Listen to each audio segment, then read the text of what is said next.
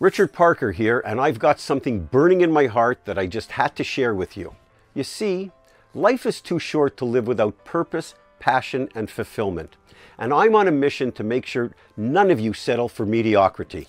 I've seen too many people going through the motions, stuck in the hamster wheel of routine, and it breaks my heart.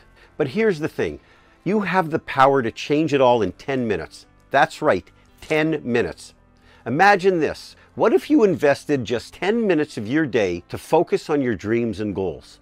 In those 10 minutes, you can visualize the life you truly desire, the success you crave, and the happiness you deserve. It's time to snap out of autopilot mode and take control of your destiny. Now, I get it, life gets busy, but here's the truth if you don't carve out time for yourself and your dreams, who will? You have the potential for greatness, and I believe in each one of you. Do you want to settle for the mundane, ordinary for the rest of your life? I don't think so.